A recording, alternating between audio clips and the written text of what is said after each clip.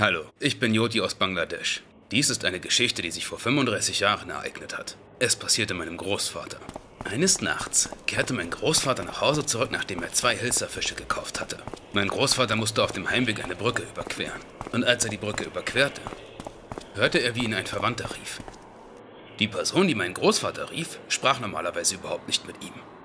Daher war er ein wenig schockiert. Dann begann der Mann auf der Brücke nach vorne zu kommen. Und irgendwann legte dieser Mann seinen Arm auf die Schulter meines Großvaters und begann etwas zu sagen. Als der Mann seinen Arm auf die Schulter meines Großvaters legte, konnte Großvater einen sehr fauligen Gestank von ihm riechen. Mein Großvater bemerkte auch, dass er kein Gewicht von dem Arm des Mannes spüren konnte. Sie standen in der Mitte der Brücke, als Großvater bemerkte, dass er in der Luft schwebte, während er seinen Arm auf die Schultern meines Großvaters gelegt hatte. Dann erkannte Großvater, dass dieser Mann ein Geist in der Gestalt eines Verwandten war. In diesem Moment begann der Geist laut zu lachen und schaute auf die Fische in der Hand meines Großvaters und sagte, Gib mir die Fische, ich werde sie essen. Da begann Großvater Gebete zu rezitieren. Und der Geist begann zu schreien und sagte, Wenn ich dich ein weiteres Mal sehe, werde ich dich umbringen, bevor du ein Gebet rezitieren kannst. Es war ein berühmter Geist in unserem Land, dessen Name Mechobut ist. Es wurde gesagt, dass, wenn der Geist jemanden nachts mit Fischen sah, er sie erschreckte und ihre Fische nahm. Wenn die Person Mechobut die Fische nicht essen ließ, würde der Geist sie sogar umbringen.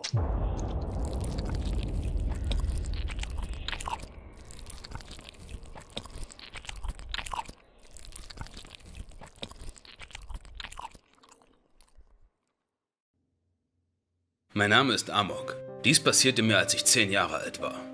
Es war der Monat Oktober und ich hatte meine Docera-Ferien. Ich hatte eine Woche frei und wir waren in unsere Heimatstadt gefahren. Unser Dorf liegt in einem sehr ländlichen Teil Indiens. Die nächste Stadt ist 30 Minuten entfernt und es gibt nichts als Wildnis in der Umgebung. Diese Geschichte passierte mir an einem der Tage, an denen ich im Dorf war. Wir hatten ein kleines Haus im Dorf. Und eines Abends war es spät und es war keine Milch oder Quark mehr zum Abendessen da. Unser Onkel bat mich, die Sachen vom nahegelegenen Laden zu holen. Ich rief meinen jüngeren Bruder, der ein Jahr jünger ist als ich, um mit mir zu kommen und die Sachen zu holen. Wir fuhren mit dem Fahrrad zum Laden und holten die Milch und den Quark, den mein Onkel wollte. Wir fuhren mit dem Fahrrad zurück zu unserem Haus. Aber plötzlich hörte ich ein Gebet namens Namas, das normalerweise von Muslimen durchgeführt wird. Die Situation war seltsam, da Namas normalerweise abends gegen 17 Uhr stattfindet. Aber es war etwa 20 Uhr. Das andere Seltsame war, dass die Moschee in Trümmern lag. Aus Neugierde bat ich meinen jüngeren Bruder, mich zu begleiten und zu sehen, was in der Moschee vor sich ging. Was ich sah, schockiert mich bis heute. In der Mitte sah ich ein satanisches Pentagramm und leblose Körper. Mehr Details möchte ich hier nicht nennen. Plötzlich sah mich eine Frau und schrie aus voller Kehle. Ihre Stimme war anders als alles, was ich je gehört hatte. Es war eine Mischung aus einer Ziege und einem Dämon. Sie schrie laut, meine Söhne, kommt hierher, kommt hierher, auf eine sehr beunruhigende Weise. Wir rannten aus der Moschee und fuhren so schnell wir konnten zurück zu unserem Haus. Als ich nach dem Abstellen meines Fahrrads hineinstürmte, fragte mein Onkel, was passiert war. Ich erklärte ihm alles und er war entsetzt. Er erzählte mir, dass das, was wir gesehen hatten, keine Vision war, sondern eine wahre Geschichte. Er erklärte, dass eine Frau kürzlich gestorben war, nachdem ihre Söhne gestorben waren. Danach ging ich nie wieder in das Dorf zurück. Ich bin jetzt 20 Jahre alt und studiere Medizin zusammen mit meinem Bruder. Und diese Situation verfolgt mich bis heute. Was wäre mit meinem Bruder und mir passiert, wenn wir nicht von diesem Ort weggelaufen wären?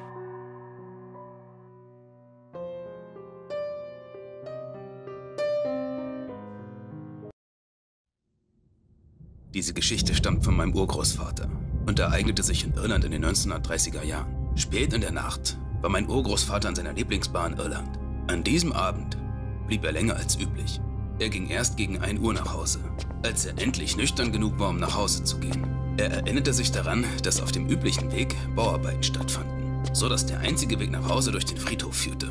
Er fühlte sich von der unheimlichen Stille beunruhigt und hatte das Gefühl, dass ihn jemand oder etwas beobachtete. Als er gerade dabei war, den Friedhof zu verlassen, hörte er eine Männerstimme, die sagte, Haben Sie Feuer, Sir? Er antwortete, Ja, das habe ich. Sobald das Feuerzeug angezündet war, fiel es zu Boden. Er ging, um es aufzuheben. Aber das, was er sah, ließ seinen ganzen Körper zittern. Als er sich bückte, um das Feuerzeug aufzuheben, sah er Hufe. Hufe, die nicht zu einem Pferd, sondern zu einer Ziege gehörten. Sie waren riesig und es gab nur zwei, wie bei den Beinen eines Menschen. Als er aufblickte, war er entsetzt. Und die einzigen Worte, die verwendet werden konnten, um es zu beschreiben, waren dieses Ding. Sobald er begriff, was er sah, lief er so schnell, dass er sich nicht einmal daran erinnern konnte, was danach geschah. Nach dieser Nacht verließ mein Urgroßvater diese Bar nie wieder nach Mitternacht. Er weiß nicht, was er gesehen oder mit wem er gesprochen hat, aber er weiß sicher, dass es keine Art natürlichen Tieres oder Menschen war. Er dachte, es könnte ein Dämon oder sogar der Teufel selbst gewesen sein. Er wusste es nie und er wollte es auch nicht wissen. Mein Name ist Bailey. Diese Geschichte passierte, als ich 13 Jahre alt war. Es war ein Samstagmorgen und ich fragte meine Mutter, ob ich eine Übernachtungsparty mit meiner besten Freundin May haben könnte. Sie zögerte, weil in der Nachbarschaft viele Clowns unterwegs waren. Es dauerte eine Weile, aber schließlich sagte sie ja. Ich rief May an und ließ sie wissen, dass sie gegen 19 Uhr kommen könnte. Später am Abend kam May vorbei und wir sprangen auf die Couch und begannen One Sea Entertainment zu schauen.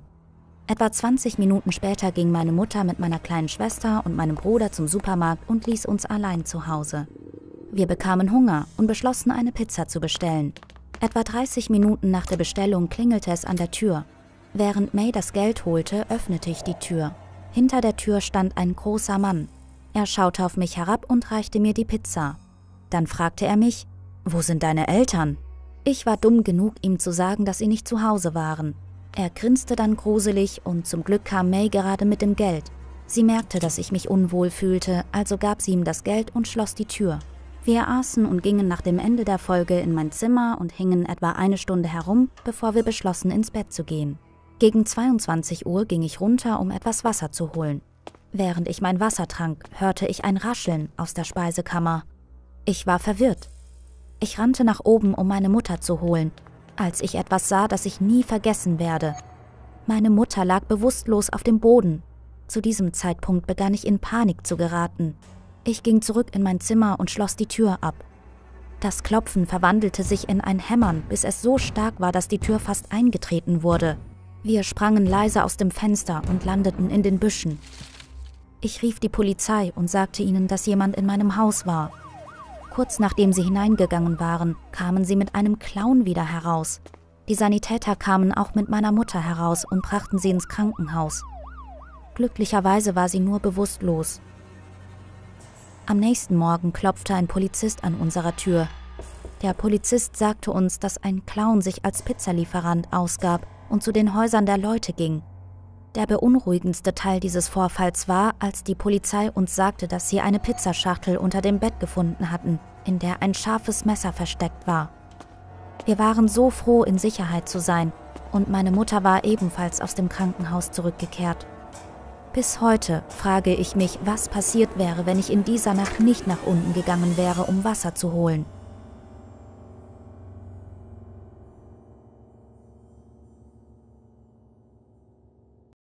Dies passierte mir im Jahr 2017, als ich etwa 15 Jahre alt war. Der Tag verlief ganz normal. Es war ein durchschnittlicher Samstag. Ich saß einfach auf der Couch im Wohnzimmer und chattete auf meinem Tablet mit meinen Freunden. Außer mir waren nur meine Eltern zu Hause da meine ältere Schwester mit ihren Freunden unterwegs war. Es war ungefähr 14.30 Uhr, als jemand an die Tür klopfte. Meine Mutter ging nachsehen, wer es war, und ich schaute auch neugierig zur Tür. Meine Mutter sah durch den Türspion und erblickte zwei Männer draußen. Einer trug ein blaues Hemd und der andere eine schwarze Jacke. Sie waren vollkommen Fremde. Keiner von uns kannte einen der Männer. Und wir waren es nicht gewohnt, Besucher, Hausierer oder ähnliches zu empfangen. Da meine Mutter sie nicht kannte, fragte sie, wer sie seien aber keiner von ihnen beantwortete diese Frage. Stattdessen sagte der Mann im blauen Hemd, Sie müssen das Haus benutzen. Meine Mutter war natürlich von dieser Antwort beunruhigt, wie jeder andere auch, und sie fragte, was er damit meinte. Aber der Mann sagte nur, sie müssen ins Haus kommen. Meine Mutter antwortete, dass sie sie nicht hereinlassen würde und dass sie gehen sollen. Der Mann in Schwarz schlug plötzlich gegen die Tür und versuchte sie aufzubrechen. In diesem Moment schrie meine Mutter und ich sprang von der Couch auf. Ich war völlig erschrocken und panisch aber auch wie gelähmt vor Schock. So viele Dinge gingen mir durch den Kopf. Und das war der Moment, als meine Mutter sich zu mir umdrehte und mir zurief, die Polizei zu rufen. Die Männer hörten nicht auf, an unserer Tür zu hämmern, und sie versuchten, sie einzutreten. Zum Glück hielten die Scharniere unserer Tür stand. Mein Vater hörte den ganzen Lärm und kam mit seinem Revolver in der Hand aus seinem Zimmer gerannt und fragte laut, was los sei. Aber dann hörte das Hämmern auf. und wir hörten die Männer weglaufen. Meine Mutter rief die Polizei und sie kam in 15 Minuten an. Wir erklärten, was passiert war, aber sie sagten, sie könnten jetzt nicht so viel tun. Keiner von uns wusste, wohin sie gelaufen waren oder ob sie ein Fahrzeug hatten, also konnten die Polizisten nichts direkt tun. Aber sie sagten, sie würden sehen, ob sie etwas Nützliches in den wenigen Überwachungskameras in der Gegend finden und mit potenziellen Zeugen sprechen könnten. Der Rest des Tages verlief normal.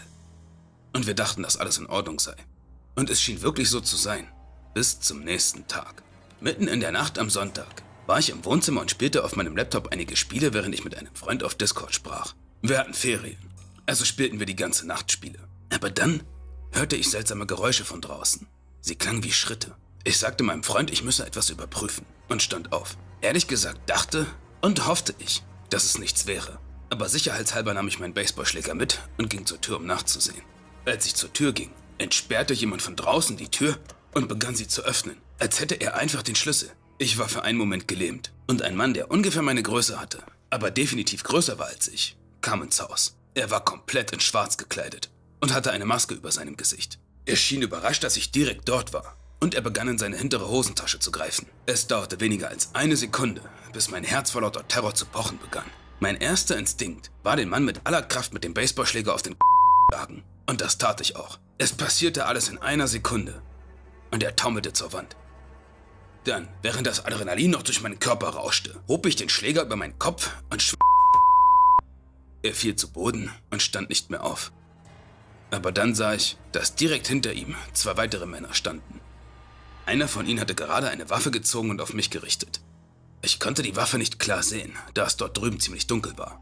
Aber es war offensichtlich aus seiner Haltung, dass er eine Waffe auf mich gerichtet hatte. Ich bestätigte das, nachdem ich hörte, wie er den Schlitten der Waffe zurückzog. Und ich schrie sofort so laut ich konnte und versuchte aus dem Weg zu gehen. Der Mann feuerte die Waffe ab und die Kugel verfehlte meinen Kopf nur knapp. Aber der Blitz des Schusses und der laute Knall waren so nah an meinem Gesicht, dass ich benommen wurde. Ich fiel auf meinen Rücken, meine Sicht war verschwommen und meine Ohren klingelten. Ich schrie verzweifelt um Hilfe und kroch so schnell ich konnte davon. Ich hörte einen der Männer dem anderen zurufen, mich erneut zu erschießen. Ich dachte, ich würde sterben, aber ich schaffte es, mich auf die Füße zu bringen und um die Ecke zu rennen und aus ihrem Blickfeld zu verschwinden. Jeder im Haus war durch den Schuss und mein Schreien aufgewacht. Und mein Vater stürmte mit seiner Waffe herein. Sobald er die Männer sah, die eingebrochen waren, begann er auf beide zu schießen. Ich denke, eine Kugel traf einen von ihnen, weil er aufschrie, bevor ich mehr Schüsse hörte und sie wegliefen. Sie stiegen in ein blaues Auto und versuchten von unserem Haus wegzufahren. Mein Vater schoss erneut auf sie.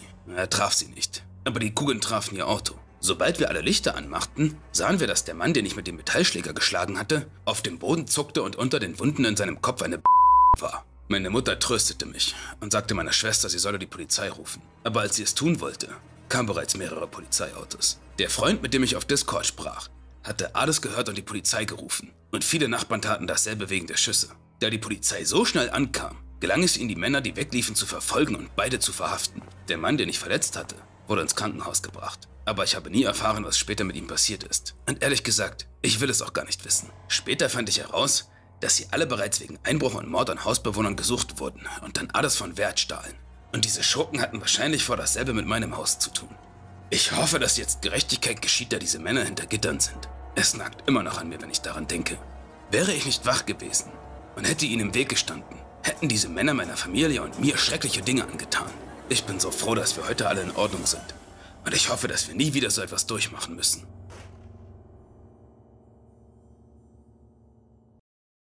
Das geschah vor etwa einem Monat und seitdem habe ich Angst, nachts aus dem Fenster zu spähen. Alles begann, als mein Bruder meinem Cousin und mir erzählte, wie er gegen zwei Uhr morgens laute Metallgeräusche hörte, fast so, als würde jemand draußen mit riesigen Metallstiefeln herumlaufen. Und da er auf dem Sofa im Wohnzimmer schlief, wurde er davon wach und ging nachsehen, was es war. Doch als er den Vorhang zurückzog, um nach draußen zu spähen, hörte es sofort auf. Das kam ihm seltsam vor, denn er sagte, es habe sich angehört, als wäre es direkt draußen auf der Straße gewesen. Zuerst glaubten wir ihm nicht und dachten, er würde nur lügen, da er oft Dinge erfindet, um uns zu erschrecken.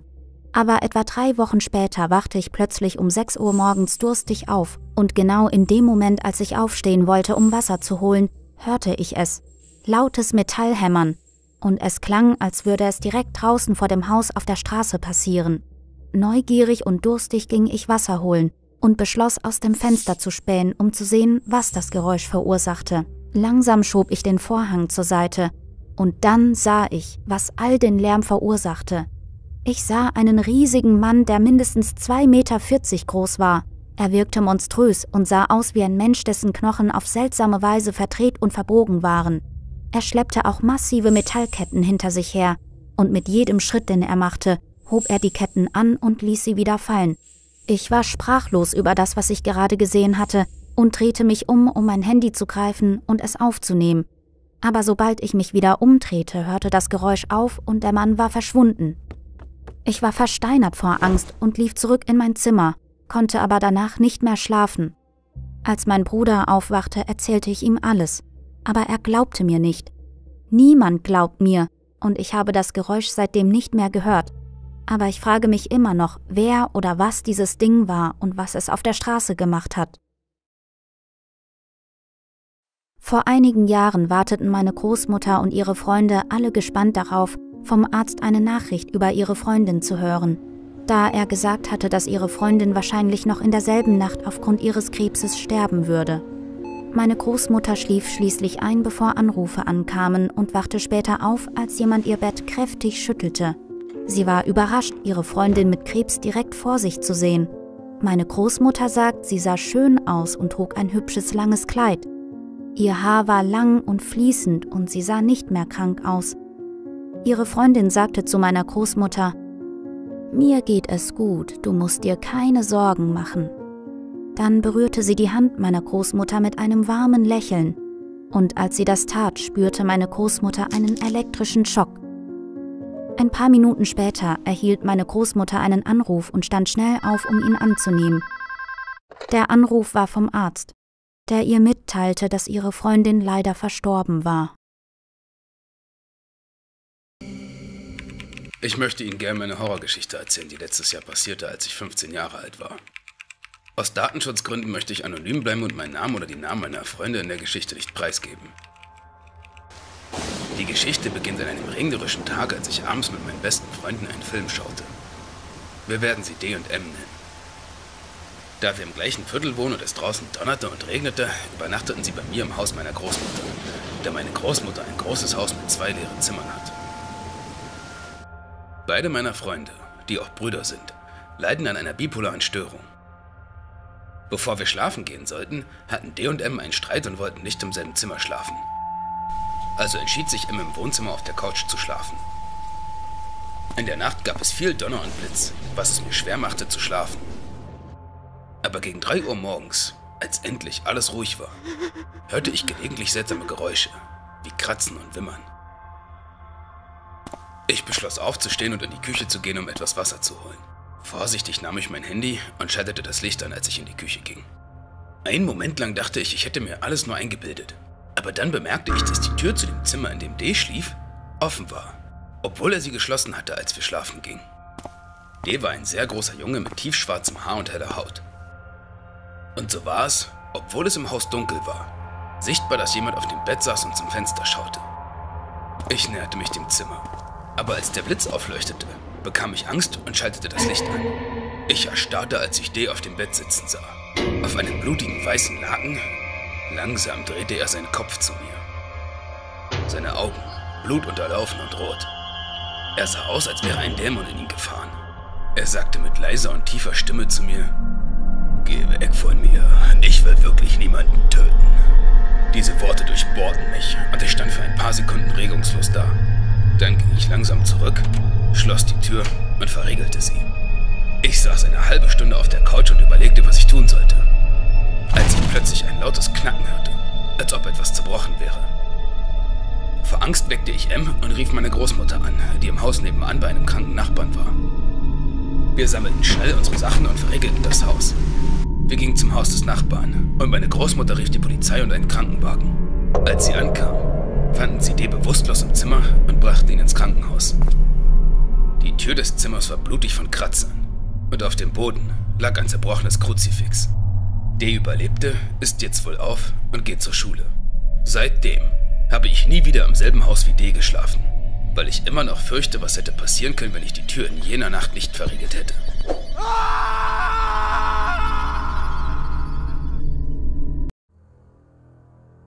Hallo Wancy, ich heiße Obeid. Ich schaue mir seit einigen Tagen deine Videos an und möchte meine Geschichte erzählen. Es geschah, als ich 14 oder 15 Jahre alt war. Also im Jahr 2016 oder 17. Meine Brüder und ich waren alle Teenager. Und wir waren auf der Geburtstagsfeier eines Kollegen meiner Mutter in einem asiatischen Restaurant in einem sehr ruhigen Teil der Stadt, den sie gut kannten. Es war ungefähr 23 Uhr und wir wollten gerade nach Hause gehen. Aber mein Bruder wollte noch ein paar Süßigkeiten in einem kleinen Laden in der Nähe kaufen. Und meine Mutter stimmte zu, weil es direkt vor dem Restaurant war. Ich ging mit ihm in den Laden, während alle anderen warteten. Als wir eintraten, bat mich mein Bruder, mir die Süßigkeiten anzusehen und sagte, er würde nach der Eiscreme suchen. Also ging ich hin, um zu sehen, ob die Süßigkeiten es wert waren, gekauft zu werden. Er war eine Minute weg, kam aber plötzlich zu mir gerannt und flüsterte mir hastig und ängstlich zu. Lass alles fallen, wir müssen gehen. Ich war so verwirrt, dass ich nicht verstand, was er meinte. Also erklärte er mir, dass er die Beine einer toten Frau gesehen habe, die durch die Hintertür über den Boden geschleift wurden. Aus irgendeinem dummen Grund ging ich nachsehen, aber die Hintertür war schon geschlossen. Also drehte ich mich einfach um und rannte mit meinem Bruder zurück ins Restaurant. Ich bat meinen Bruder, mir genau zu erzählen, was er gesehen hatte, und er sagte, er würde es mir auf dem Heimweg erzählen. Schließlich gingen wir zum Auto, und mein Bruder erklärte mir alles. Er sagte, während er das Eis betrachtete, habe er das Geräusch von etwas Metallischem gehört, das auf den Boden fiel. Und dann habe er zwei Männer gesehen, die einen menschlichen Körper durch eine Tür zogen. Mein Bruder versuchte unsere Mutter zu überzeugen aber sie glaubte ihm nicht. Aber ich weiß, dass er nicht gelogen oder einen Streich gespielt hat, denn ich kenne meinen Bruder. Er würde nicht einfach so Süßigkeiten und Eis liegen lassen. Und er ist nicht der Typ für Streiche. Bis heute frage ich mich, was passiert wäre, wenn wir erwischt worden wären.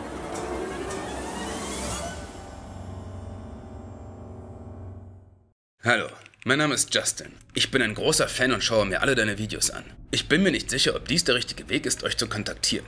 Aber ich habe eine gruselige Geschichte, die mir passiert ist, als ich ungefähr zwölf Jahre alt war. Ich schlief damals im Keller unseres Hauses. Um es dir zu beschreiben, wenn man die Treppe hinunterging, konnte man rechts ins Badezimmer gehen, links in den Abstellraum und den Heizungsraum und geradeaus waren mein Schlafzimmer und das Wohnzimmer. Eines Nachts, nachdem ich einige Hausaufgaben gemacht hatte, machte ich mich zum Schlafen bereit. Es war etwa zwischen 1 und 2 Uhr nachts. Ich leide unter starker Schlaflosigkeit. Deshalb habe ich immer Schwierigkeiten einzuschlafen, was mich zu einer Art Nachtmensch gemacht hat. Ich genieße die dunklen Stunden wirklich. Ich verbringe die Nächte mit Spielen oder Lesen, wie auch immer. Als ich mich bettfertig machte, hatte ich ein seltsames Gefühl. Es war fast so, als würde ein unheimlicher Schauer durch mich hindurchgehen und mich frösteln lassen. Ich zuckte mit den Schultern und machte mich weiter bettfertig. Als ich fertig war und im Bett lag, schaute ich mir ein paar Videos auf YouTube an und las dann ein Buch. Nach etwa einer Stunde merkte ich, dass es 3 Uhr morgens war und ich fühlte mich endlich müde. Also machte ich das Licht aus und schloss meine Augen.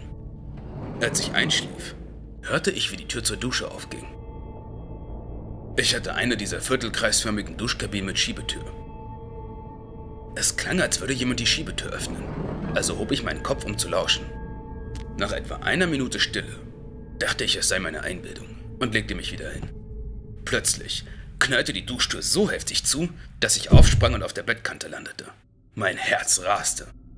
Kurz darauf hörte ich, wie im Zimmer Papiere herumflogen. Ich hatte zu viel Angst, um in die Dunkelheit zu schauen. Also saß ich da, starr vor Angst. Ein paar Minuten vergingen und ich beruhigte mich ein wenig. Ich drehte meinen Kopf in Richtung meines offenen Kleiderschranks und für den Bruchteil einer Sekunde sah ich dort das gespenstische Gesicht einer Frau. Im Nu war es verschwunden. Es war ein furchterregendes Gesicht, mit dunklen Haaren und weit aufgerissenen, blutunterlaufenden Augen. Es sah auch so aus, als hätte sie etwas wie ein Tuch um den Mund gewickelt. Unterhalb ihres Kinns war in dieser Sekunde nichts zu sehen. Nur ihr Kopf und ihr Gesicht. Ich fiel vor Schreck in Ohnmacht und wachte am nächsten Morgen an der Bettkante auf.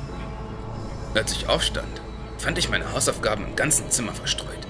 Und als ich die Dusche überprüfte, hatte sie einen Riss im Plastik. Wahrscheinlich, weil sie zugeschlagen worden war. Bis jetzt habe ich niemandem davon erzählt. Weil ich wusste, dass mir sowieso niemand glauben würde.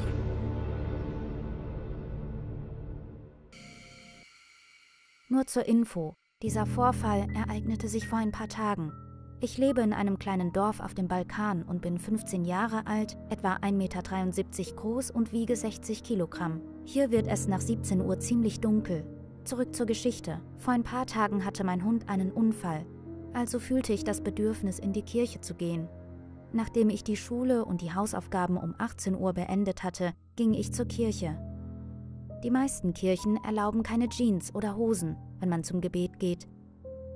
Und da ich orthodox bin, versuche ich die Tradition so gut wie möglich einzuhalten. Als ich zur Kirche ging, hatte ich ein seltsames Gefühl, aber ich schob es beiseite. Als ich vor der Kirche war, sah ich einen Mann etwa Mitte 40. Er bewegte sich auf eine Weise, dass ich dachte, er würde tanzen. Er begann an der Rose zu riechen und in den Himmel zu schauen. Ich fühlte mich in diesem Moment ein wenig unwohl, aber ich dachte nur, dass er betrunken oder so etwas wäre. Als er mich sah, hörte er auf zu tanzen und an der Blume zu riechen. Er sah mich an und lächelte, aber es war kein seltsames Lächeln. Es schien, als hätte er vor etwas Angst. Als ich mein Gebet beendet hatte und aus der Kirche kam, sah ich, wie er ein anderes Mädchen angriff.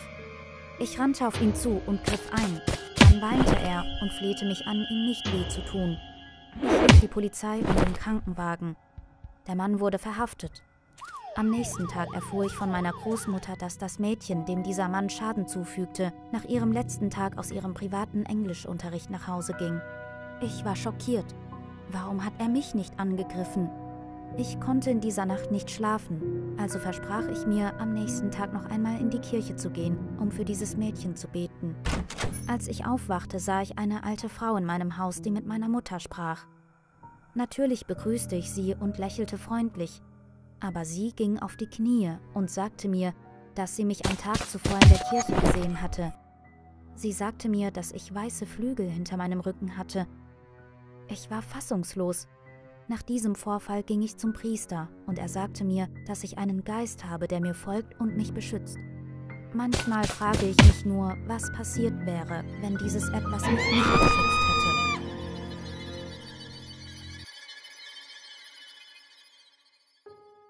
hätte. Das ist vor zwei Monaten passiert. Ich lebe in Myanmar. Es ist ein wunderschönes Land. Es war ein weiterer normaler Schultag. Normalerweise wache ich um 5.30 Uhr auf und komme gegen 13 Uhr von der Schule nach Hause. Nach der Schule war ich alleine zu Hause. Das ist normal, weil mein Vater normalerweise nicht oft zu Hause war. Mir war langweilig. Also lud ich meinen Cousin und meinen besten Freund ein, um Spiele zu spielen und Vancy-Videos zu schauen. Ein paar Stunden später klopfte jemand an die Tür. Mein erster Gedanke war, dass es meine Mutter war aber normalerweise hatte sie einen Schlüssel, um hereinzukommen. Ich schaute durch das Fenster und es war ein erwachsener Mann. Er sah aus, als wäre er Mitte 40. Er war groß und seine Haare waren unordentlich. Ich ignorierte ihn und öffnete die Tür nicht. Später verließ ich dummerweise das Haus, weil ich ein paar Snacks aus dem Convenience Store holen wollte. Und natürlich war der Mann da mit einem Taschenmesser und sah aus, als wollte er mich angreifen. Da an meiner Nähe Ziegelsteine lagen, warf ich einen auf ihn und irgendwie traf er ihn am Kopf und brachte ihn zu Fall. Neben mir war ein Van, der anscheinend ihm gehörte. Und als ich hineinblickte, war dort ein 16-jähriges Mädchen gefesselt. Ich war in dem Moment zwölf Jahre alt, also war das alles sehr beängstigend für mich. Ich band sie los und rief die Polizei. Als sie ein paar Momente später ankam, wurde er gefasst.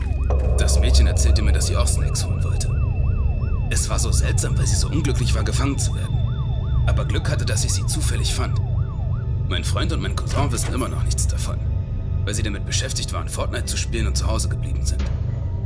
Ich kann nicht anders, als mich zu fragen, was mit diesem Mädchen und mir passiert wäre, wenn diese Ziegelsteine nicht da gewesen wären.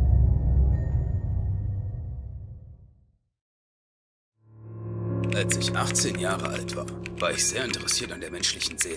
Daher suchte ich ständig im Internet danach. Und eines Tages entdeckte ich, dass es ein Treffen gab, bei dem über die menschliche Seele diskutiert wurde. Ich beschloss, zusammen mit meinem Freund Sean zu diesem Treffen zu gehen. Aber als wir am Treffpunkt ankamen, waren nur drei Personen anwesend. Ich, Sean und der Leiter des Treffens. Ich war etwas enttäuscht, aber der Leiter des Treffens schien sehr sachkundig zu sein. Er begann uns Informationen über die Seele zu erklären. Er sagte, Menschen haben alle eine Seele, aber tatsächlich kann sie in zwei Teile geteilt werden. Oder die Seelen zweier Menschen können sich zu einer verschmelzen. Mit anderen Worten, du und ich könnten eins werden. Alle Seelen auf der Erde sind letztendlich eins. Ich hörte seiner Geschichte mit neugierigen Augen zu, aber als ich Sean ansah, sah er nicht gut aus. Sean flüsterte mir zu. Diese Person scheint ein wenig seltsam zu sein. Lass uns einfach nach Hause gehen. Aber ich hatte Spaß und sagte ihm, er solle noch ein bisschen länger bleiben. Wir unterhielten uns eine Weile mit dem Gruppenleiter. Und schließlich dachte ich daran, nach Hause zu gehen. Da sagte der Leiter des Treffens, wir sollten nicht gehen. Sean und ich sagten, wir müssten gehen und standen auf, um zu gehen. Der Leiter des Treffens hob plötzlich seine Hände zum Himmel und schaute Sean an, während er murmelte. Seine Augen waren mörderisch und er hielt etwas, das wie ein roter Edelstein aussah in seiner Hand. Sean, lauf! schrie ich. In diesem Moment schlug der Leiter des Treffens Sean mit dem roten Edelstein auf den Kopf und Sean verlor das Bewusstsein. Dann zog er eine Glasflasche aus seiner Tasche und hielt sie an Seans Mund. Dann sagte er, Gott, ich werde diese Seele nehmen. Ich werde sie dankbar verzehren. Dann hob er die Flasche an seinen Mund, atmete ein, schloss den Deckel und steckte sie wieder an seine Tasche. Ich wusste nicht, ob Sean lebte oder tot war. Und ich hatte solche Angst, dass mein ganzer Körper zitterte. Und ich hatte Schwierigkeiten, das Gleichgewicht zu halten. Der Leiter des Treffens sah mich an und sagte, ich gebe dir eine Chance. Wenn du sagst, dass du mir deine Seele gibst, kann ich deine Seele nehmen, ohne deinen Kopf einschlagen zu müssen. Also, was willst du tun? Er nahm eine Glasflasche aus seiner anderen Tasche, öffnete den Deckel. Ich hatte Angst, aber ich schrie ihn an. Mein Kopf ist stärker als Stein und wird niemals brechen. Da sagte er zu mir, oh mein Gott, ich habe versucht nett zu sein, aber jetzt muss ich doch wieder ein Loch machen. Er hielt die Glasflasche hin und näherte sich mir langsam. Der Klang meines Herzschlags war so laut in meinen Ohren, dass er fast wie Donner klang. In diesem Moment hob er wieder seine Hand mit dem roten Edelstein und versuchte mich zu schlagen. Also stieß ich ihn mit aller Kraft um und warf ihn zu Boden. Wir begannen zu kämpfen, rollten über den Boden und dann schnappte ich mir die Glasflasche aus seiner Hand und schlug ihn damit auf den Kopf. Die Flasche zerbrach und er schrie und hielt sich den Kopf. Nein, das ist dein Zuhause! Er weinte und hob die zerbrochene Flasche mit bloßen Händen auf. Ich half Sean auf und wir rannten weg. Zum Glück kam Sean ein wenig zu sich. Dann schrie der Leiter des Treffens. Oh, ihr lebt noch. Meine Söhne, wohin wollt ihr gehen? In mir gibt es ewige Ruhe. Ich rannte nach draußen und rief die Polizei. Der Leiter wurde verhaftet und die Polizei fand Dutzende von Flaschen in seinem Keller. Die Flaschen hatten kleine Bilder von Menschen daran befestigt. Als die Polizei fragte, was die Flaschen seien, lächelte er und sagte, das sind die Seelen, die ich bisher aufgenommen habe. Sie sind jetzt in meiner Welt und sie werden für immer in mir leben. Er nannte Dutzende von Namen von Menschen. Ich brachte Sean ins Krankenhaus und glücklicherweise erholte er sich. Hätten wir damals nicht mit Sean fliehen können, kann ich mir nicht vorstellen, was mit uns passiert wäre.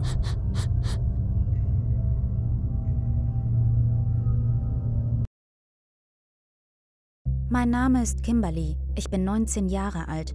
Ich möchte meine persönliche, gruselige Geschichte teilen, die mir vor zwei Jahren passiert ist. Es war ein Freitag und ich war gerade von der Schule nach Hause gekommen. Ich begrüßte meine Mutter, als sie zur Arbeit ging, und sie sagte mir, dass ich nicht auf sie warten sollte, da sie spät nach Hause kommen würde. Mein Vater verließ uns, als ich ein Baby war, und seitdem sind es nur meine Mutter und ich. Ich sagte okay, und sie ging aus dem Haus. Danach ging ich nach oben und zog meine bequemen Klamotten an. Dann ging ich wieder nach unten in die Küche, wo ich anfing, Abendessen für mich und für sie zu kochen, damit sie essen konnte, wenn sie von der Arbeit nach Hause kam. Nachdem ich gekocht hatte, erledigte ich ein paar Hausarbeiten, duschte, aß zu Abend und überprüfte alle Türen und Fenster, um sicherzustellen, dass sie verschlossen waren. Als ich mit dem Aufräumen fertig war, ging ich mit dem Computer ins Wohnzimmer, da ich einige Folgen meiner Serie nachholen wollte. Etwa drei Stunden später hörte ich, wie unsere Haustür geöffnet und geschlossen wurde. Ich dachte, es sei meine Mutter, also achtete ich nicht darauf und schaute weiter meine Serie. Ich hatte Kopfhörer auf, also konnte ich meine Mutter nicht hören, als sie mit mir sprach. Normalerweise würde sie zu mir kommen, und dann spürte ich, wie sich jemand über die Couch lehnte, auf der ich saß. Als ich langsam meinen Kopf hob, sah ich meine Mutter, die mich mit weit aufgerissenen Augen und einem intensiven Blick ansah. Ich fragte sie, was los sei, aber sie antwortete nicht. Und als ich sie weiter anschaute, hatte ich das Gefühl, dass etwas nicht stimmte. Als ich genauer hinsah, bemerkte ich, dass sie nicht ihre Krankenschwesteruniform trug. Nach etwa 30 Sekunden ihres Starrens sah sie langsam zur Decke und dann wieder zu mir. Dann küsste sie mich auf die Stirn. Ihr Mund war so kalt, es fühlte sich an, als hätte sie Eis auf ihren Lippen gehabt. Dann ging sie in die Küche und ich konnte sie von meinem Platz aus nicht mehr sehen. Ich dachte mir nichts dabei und schaute weiter meine Serie. Dann kam mir die Erkenntnis. Ich erinnerte mich, dass sie gesagt hatte, sie würde spät nach Hause kommen und ich solle nicht auf sie warten. Außerdem hatte sie mich noch nie auf die Stirn geküsst. Ich war für eine Minute wie erstarrt. Dann nahm ich langsam mein Telefon und rief sie an, in der Hoffnung, dass ich es irgendwo im Haus klingeln hören würde. Sie nahm ab und fragte mich, was los sei. Ich fragte sie, ob sie zu Hause sei, aber sie sagte nein und fragte mich, ob alles in Ordnung wäre. Ich sagte ihr, dass jemand im Haus sei. Jedoch erzählte ich ihr nicht, dass ich sie gesehen hatte oder etwas, das vorgab, sie zu sein. Dann sagte sie mir, ich solle zu unserer Nachbarin nebenan rennen, während sie die Polizei rief. Ich rannte zu unserer Nachbarin und klopfte laut an. Sie öffnete und ließ mich herein. Ich sagte ihr, dass jemand Fremdes in unserem Haus sei. Nach etwa fünf Minuten Warten auf die Polizei hörte ich sie kommen. Etwa zehn Minuten später kam ein Polizist zu mir und sagte, sie hätten nichts gefunden. Ich wartete bei meiner Nachbarin, bis meine Mutter nach Hause kam. Wir sind vor einem Jahr von dort weggezogen und ich habe nie wirklich jemandem erzählt, nicht einmal meiner Mutter, dass ich ihren Doppelgänger gesehen habe.